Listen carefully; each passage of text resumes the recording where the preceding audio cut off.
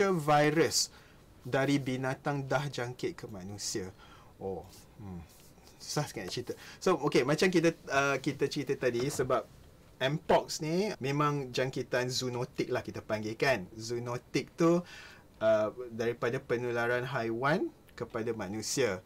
So, di benua Afrika, contohnya macam mana manusia tu dapat daripada haiwan yang mengidap uh, Mpox ni, Uh, banyak cara ya. Sama ada disebabkan gigitan ataupun cakaran daripada haiwan yang telah dijangkiti. Monkeypox kadang-kadang cara pengendalian bangkai-bangkai binatang di sana dengan tidak betul.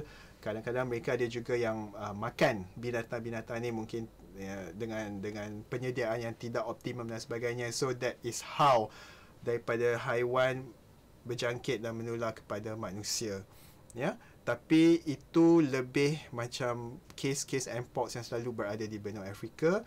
Tapi sekarang ni macam saya yang yang kita kena always emphasize that the recent outbreaks of mpox ni um, is more to human to human ya. Jangkitan daripada manusia ke manusia ada melalui direct contact sentuhan daripada kulit ke kulit uh, melalui hubungan seksual contamination dengan environment yang pesakit mpox berada dan kalau kita you know um, risiko terdedah kepada mungkin daripada dia punya cecair badan dan sebagainya. So it's more to that huh? so yeah.